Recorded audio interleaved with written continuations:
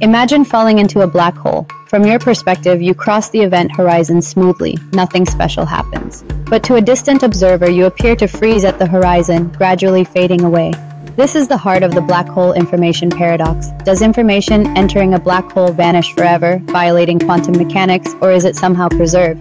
Black hole complementarity offers a bold solution. It proposes that both perspectives, falling in and staying outside, are valid, but no single observer can access both. For the falling observer, information passes through the horizon without drama.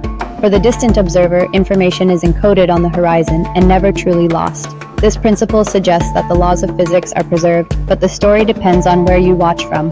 No information is duplicated because no observer can witness both realities.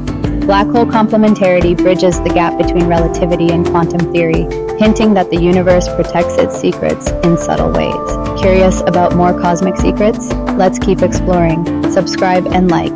It helps my video a lot, or else you may never see this channel again.